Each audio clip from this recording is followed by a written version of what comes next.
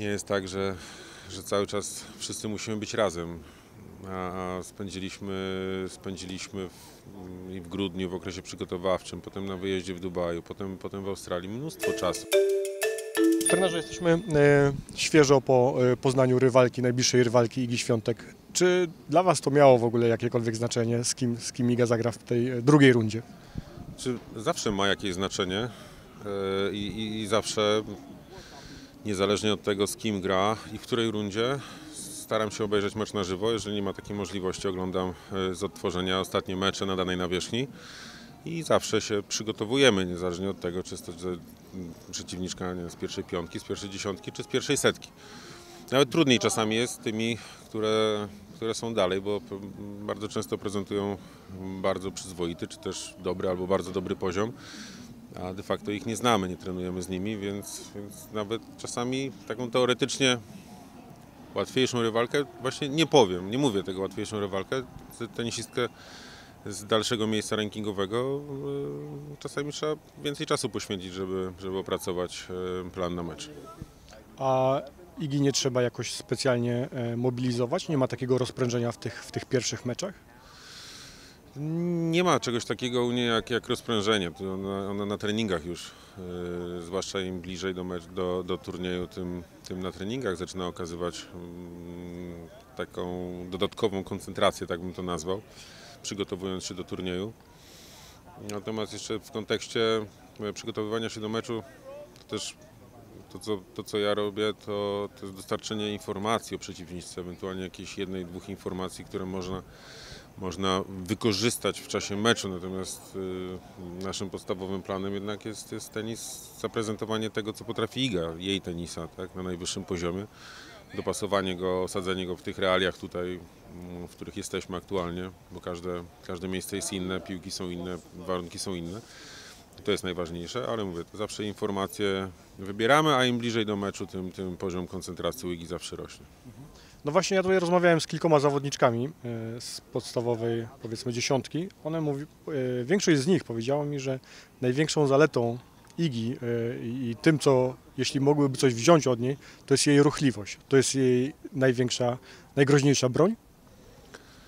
Tak, jest to bardzo duża broń i w pewnych określonych sytuacjach to jest jej przekleństwo, ale nie będę akurat się zagłębiał w, w szczegóły, gdzie mamy problem z chociażby zbyt dużą energią, jeżeli chodzi o poruszanie mm, na nogach. Natomiast tak, jest to, jest to bardzo duża broń i, i zawsze podkreślam, że presję wywiera się zarówno w ataku, jak i, jak i w obronie. Jeżeli atak jest dostrojony i, i, i odpowiednio ukierunkowany i rozsądny, a obrona jest agresywna, to wtedy mamy wszystko to, to czego potrzeba. Obrona agresywna to, to są słowa, które może dla niektórych się wykluczają, ale chodzi tutaj po prostu o, o wywieranie presji na, na tenisistce, zawężanie pola gry, yy, takie krycie kortu, które powoduje zwiększenie ryzyka e, u, u przeciwniczki, co owocuje błędami, co z kolei ok, daje punkty yy, Idze. Jak Iga się czuje, bo zmagała się z infekcją. Tutaj e, widać było, że trochę jeszcze kaszle. No, te infekcje chyba teraz takie są, że, że się przeciągają, więc no, oznaki na pewno tych, y, tego przeziębienia z Bliskiego Wschodu jeszcze, jeszcze symptomy jakieś są, natomiast nie zwracam na to chyba większego, większej uwagi.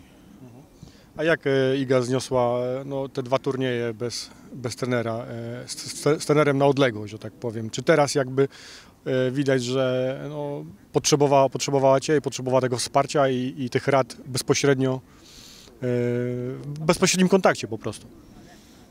Chyba pytanie do niej, a tak z mojej perspektywy, no zniosła tak samo jak, jak Stuttgart w zeszłym roku, czy, czy, czy Ostrawę w zeszłym roku. Nie jest tak, że, że cały czas wszyscy musimy być razem, a, spędziliśmy, spędziliśmy w, i w grudniu w okresie przygotowawczym, potem na wyjeździe w Dubaju, potem, potem w Australii mnóstwo czasu i to, to, to są też łatwiejsze, świetne, gorsze, trudniejsze momenty takie normalne życie, prawda? Więc po prostu cz- czasami też dobrze jest odpocząć. Ja miałem swoje prywatne kwestie, które musiałem załatwić i one nie mogły czekać.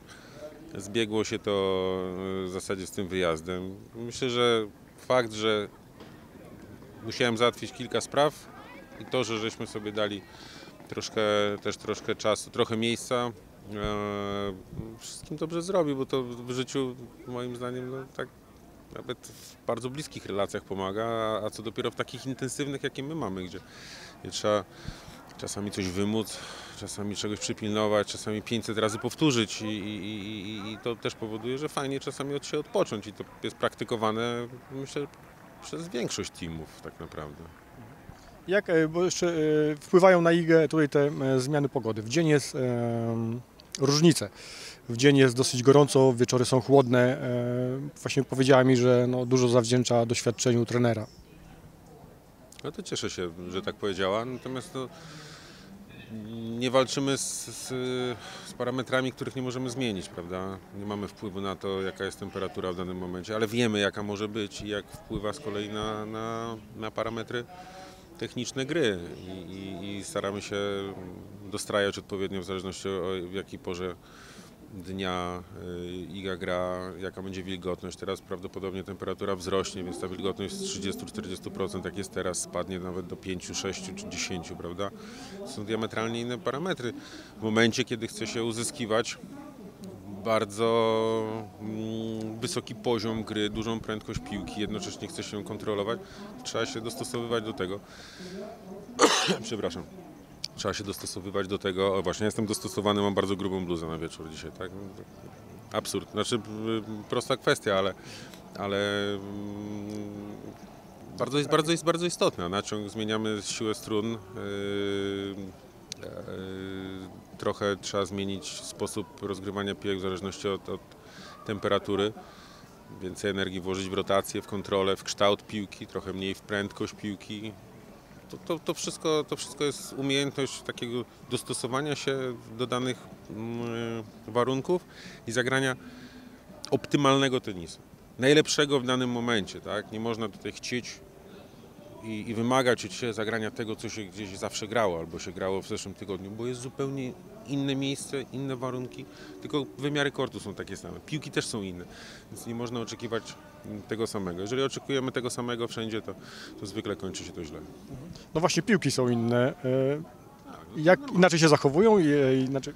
Tak, te piłki są dosyć tępe, w sensie mało dynamiczne, dosyć szybko łapią objętość, więc trzeba tutaj dokładać sporo, sporo rotacji. Zresztą to rotacja kontroluje piłkę. No, Dunlopy, Australian Open są dynamiczniejszą piłką, aczkolwiek w miarę y, dosyć ciężką, więc stosunkowo łatwo się ją kontroluje. Tutaj jest trochę inaczej, ale plus te piłki, plus te warunki, to wszystko wymaga specyficznego podejścia. Ja nie mówię, gdzie jest trudniej, gdzie jest łatwiej, każdy jest inny. Jednemu się lepiej gra tutaj, innemu tam, a my pracujemy nad tym, żeby wszędzie grało się po prostu optymalnie.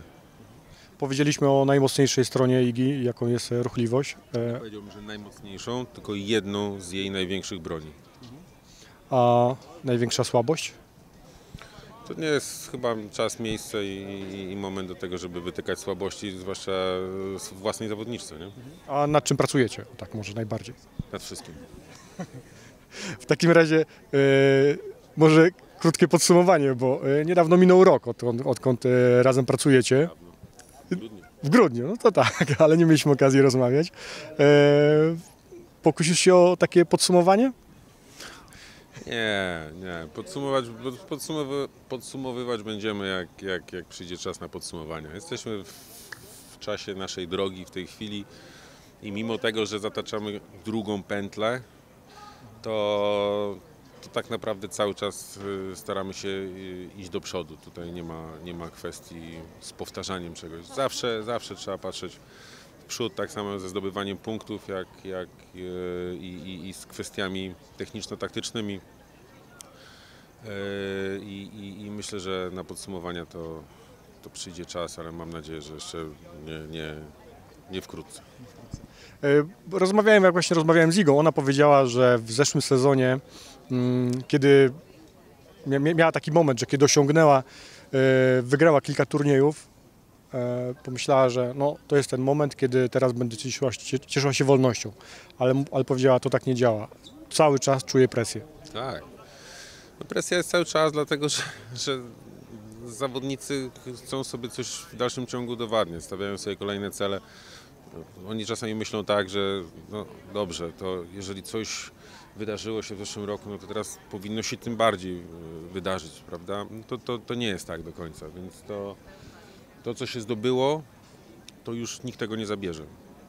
To są, to są tytuły, to są, to są doświadczenia, to, to są wspomnienia, które mamy i idziemy dalej. I te, tylko ten sposób myślenia działa, aczkolwiek wiem, że łatwo jest to powiedzieć, ciężko jest to wdrożyć. Myślę, że Iga wie doskonale, jak, jak należy myśleć, jak sobie radzić w różnych sytuacjach i jestem przekonany o tym, że wie, bo, bo często rozmawia na ten, na ten temat, ale mimo wszystko natura, natura ludzka jest taka, że, że gdzieś jakieś wątpliwości czasami yy, musimy sobie rozwiewać, coś udowadniać. I teraz, teraz w zależności jak, jak będziemy przechodzić przez te kolejne, przez te kolejne wyzwania, takie będziemy mieli wyniki, mimo tego, że, że te wyniki z zeszłego roku wskazują na to, że powinno być dobrze czy, czy bardzo dobrze.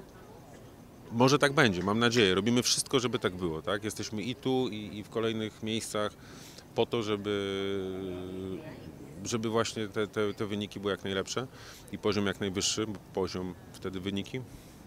Ale, ale trzeba pamiętać, mówię, że idziemy do przodu i nie odnosimy, nie patrzymy praktycznie wstecz. Wyciągamy wnioski, ok, uczymy się gdzieś na błędach, ok, uczymy się na doświadczeniach innych, ok, ale idziemy cały czas do przodu, nie, nie patrzymy, nie bronimy tego, co, co, co tam jest, bo jeżeli tak będziemy myśleć, to to będzie nam generowało dodatkową presję, plus dziewczyny, które są w tej chwili w turze, już je znają, trenowały z nią, oglądają, trenerzy oglądają, jest trochę trudniej. Wszystko powoduje, że jesteśmy w innym punkcie tak naprawdę niż, niż chociażby jeszcze przepraszam, tydzień czy, czy dwa tygodnie temu. Nowe sytuacje, nowe rozwiązania, nowe pomysły. Ale no, bazę mamy jakąś wypracowaną oczywiście. Przepraszam, no to, jest, to jest to przeziębienie, które nas dopadło i, te, i temperatura generalnie tutaj rano i wieczorem. No właśnie i na koniec e, niedługo minie rok, odkąd e, Iga objęła e, prowadzenie w rankingu. Za dwa tygodnie. Dokładnie, dokładnie. Czy spodziewałeś się, że Iga tak szybko wejdzie na szczyt i osiągnie tak dużą różnicę? Ja, ja spodziewam się tylko tego, no, co jest w, najbliższym, w najbliższej naszej, naszej przyszłości. To, to, o tym staram się myśleć, na co mam rzeczywiście wpływ. Natomiast od- jak zaczynałem pracę i, i później jak już zaczęliśmy pracę, tak na głos żeśmy zaczęli mówić, że tak, że chcemy, wierzymy i, i, i, i że zrobimy wszystko, żeby była numerem jeden.